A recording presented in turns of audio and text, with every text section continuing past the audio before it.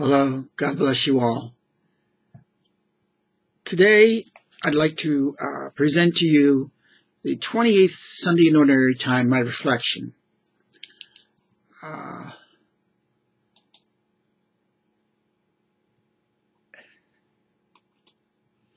for some reason, I'm having problems here.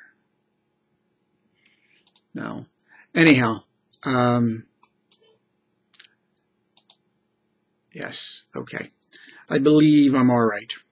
Uh, I've just received a warning up on the screen, but I, I really don't know what it means. Uh, this particular Sunday is uh, very rich, but also uh, has a dark side. First of all, the wonderful first reading, Isaiah chapter 25, verses uh, 6 to 10a.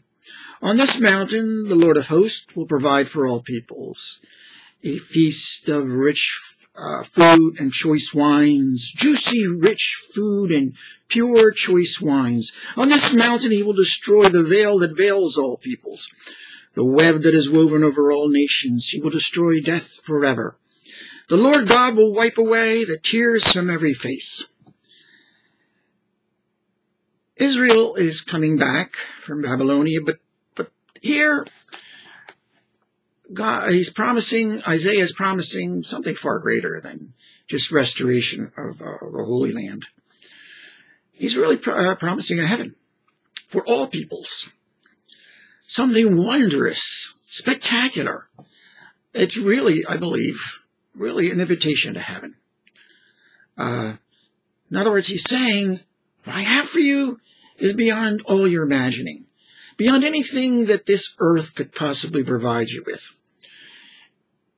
And to help us understand what it is, he's recalling the wonderful memories I, I imagine all of us have, I certainly have, of wonderful meals with beloved family and company of friends uh, that have made it just a spectacularly wonderful time. Feast but it was not just a feast of food and drink, but it was an emotional feast. A time when our heart was enjoying the whole thing. Uh, and it was a time of really rejoicing in every, in every part of our being. We as complete human beings were enjoying that time.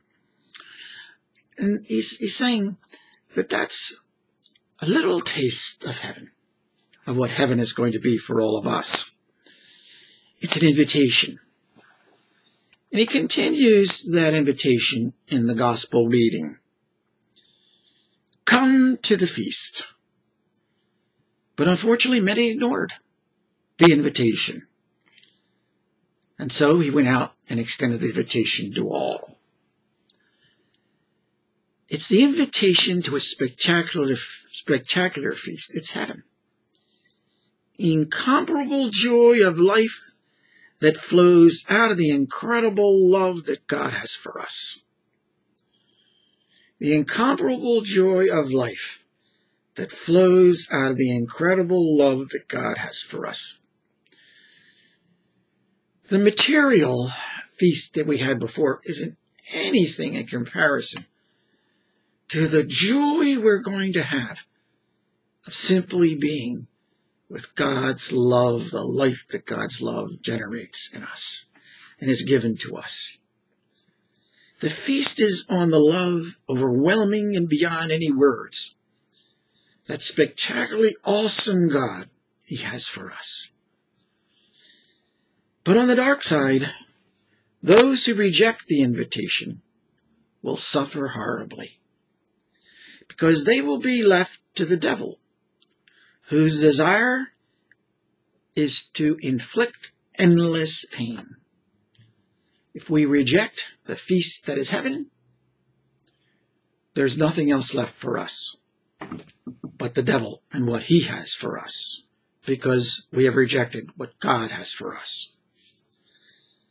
But then now we're going to, over to the uh, epistle reading Paul's letter to the Philippians, chapter 4, verses 12 to 14, and then verses 19 to 20. to get to that heaven, we must go through trials, the trials of this world. There's the good times and the bad, as we say in the marriage ceremony, in sickness and in health. Then to quote from the reading itself, being well fed and going hungry. There will be the good times and the bad. This world is both. And we must go through it and prove ourselves worthy. The Jesus of extreme suffering of a horrible crucifixion does not guarantee good feelings in our life in this world, but that we can do all things in Him who strengthens us. And our God will fully supply whatever we need, no matter. In the good times and the bad, in the sickness and the health, He will carry us through. If we put ourselves into His hands, we put our lives into His hands. May God bless you all.